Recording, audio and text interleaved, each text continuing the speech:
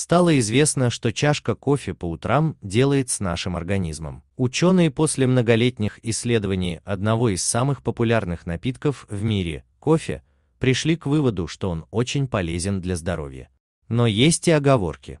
О влиянии кофе на наш организм говорится в исследовании датского ученого Кьольда Хермансена, опубликованного на странице National Library of Medicine.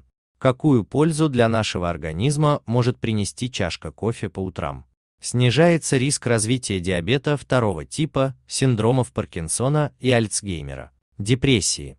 Уменьшаются шансы образования тромбов и развития инсульта. Ниже риск заболеть некоторыми типами рака.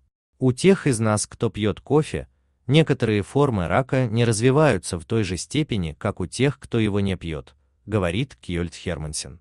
Какая доза кофе в день считается оптимальной? Ученые говорят, что оздоравливающий эффект имеют не более 3-4 чашек в день. Превышение этой дозы уже не здраво.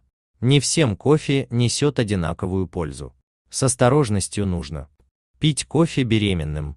У тех, кто страдает тревожными расстройствами, кофеин может лишь усилить тревогу. Если вы получаете с пищей мало кальция, лучше не увлекаться напитком, так как он усиливает выведение кальция с мочой, а значит, может увеличивать риск переломов и остеопороза. Самого позитивного эффекта можно добиться, если пить от 3 до 4 чашек кофе в день, но мы не знаем, что происходит, когда объемы кофе значительно больше, добавил ученый. Ранее мы, мы, писали, какой кофе поможет похудеть.